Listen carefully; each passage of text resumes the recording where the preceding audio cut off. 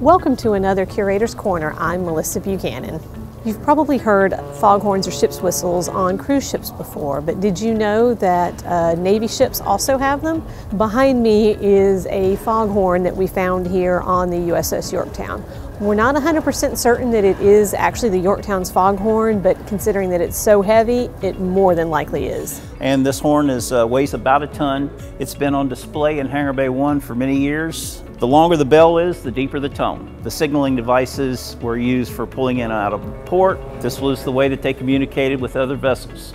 Our operations director and our HVAC technician, who's an engineering type and uh, very mechanically inclined, thought it may be a good idea to see if we could get this whistle to, to operate. Our engineering crew was able to fabricate a different initiator, air instead of steam for the foghorn. When the original whistle was in position on the island, it had an unlimited supply of steam, and now we're running it just off of about 130 to 140 pounds of compressed air. The horn could be heard for 10 miles. It's going to give the Fighting Lady her voice back. 59 to 60 hertz, and in the area of about 180 decibels.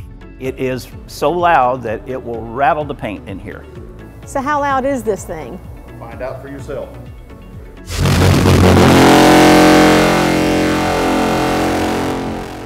A normal conversation is around 60 decibels. This is the equivalent of the volcanic explosion at Krakatoa. It'll be a, a thing that we can use for signaling different events, say fireworks for uh, 4th of July and maybe New Year's Eve at the stroke of midnight.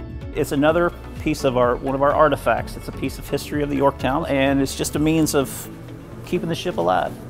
The next time you're visiting Mount Pleasant or downtown Charleston and you hear our blast, maybe you'll think about visiting Patriots Point.